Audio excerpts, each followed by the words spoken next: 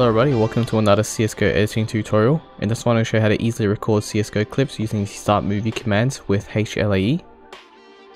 So first up what you need to do is head to advancedfx.org and download the latest version of HLAE here. And then head over to Virtual Dub and download the latest version here. Once you have them both, extract them to their folders. I recommend extracting them to somewhere easy like your desktop.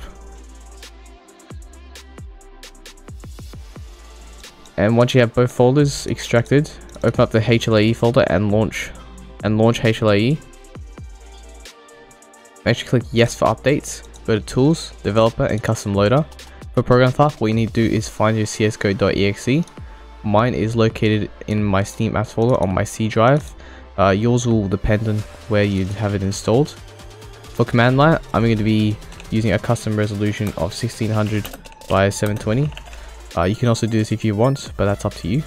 And then for DLLs to inject, what you need to do is find the AFX hook source.dll, which is located in your HLAE folder that you extracted.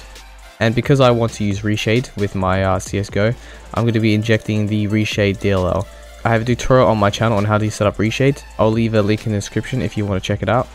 Uh, once you have everything uh, set up, all you have to do is press OK and CSGO launch.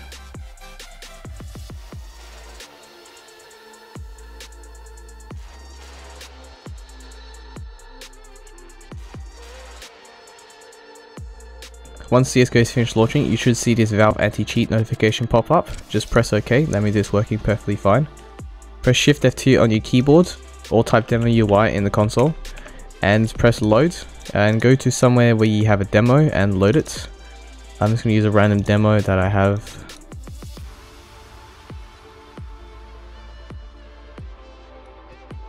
Make sure you copy the tick number to get to the frag easily.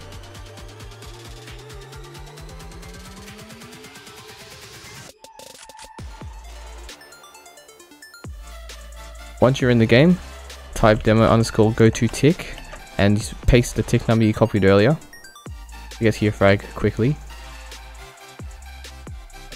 After that, you can uh, disable the HUD like so. And once that is done, you can go ahead and exec your movie making config if you have one. And I'm going to do that right now.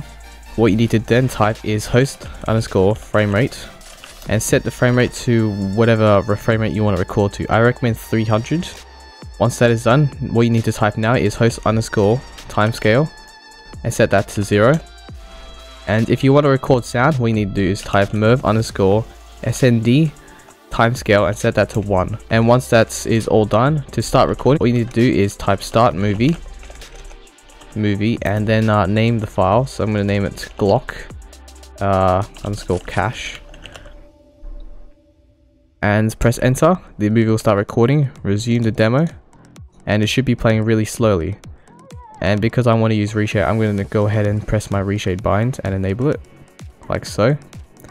And all you have to do is now leave it till the frag is finished and stop it once it's done. Once you finish recording, all you need to do is type end movie, and that will stop the recording. Then you go ahead and quit out of it, and then what you need to do is open up the virtual dub that you downloaded. And go find, uh, go to your CSGO directory.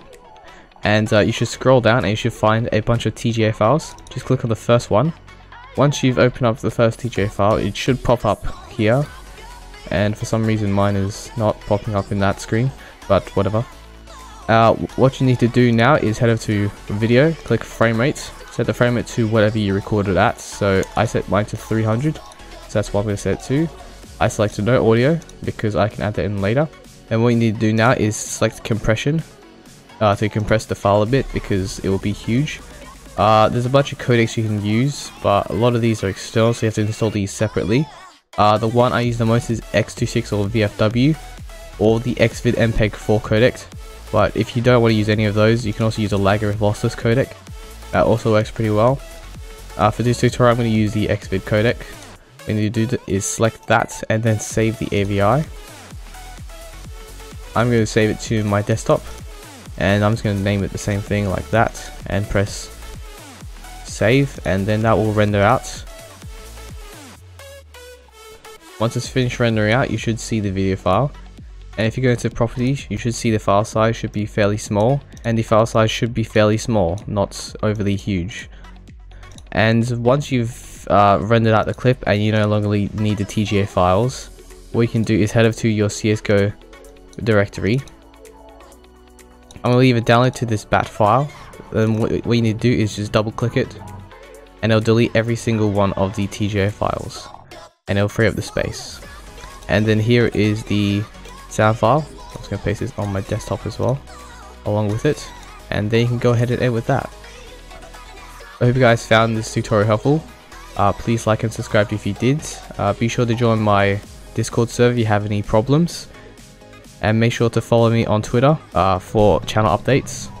And I'll see you guys in the next one.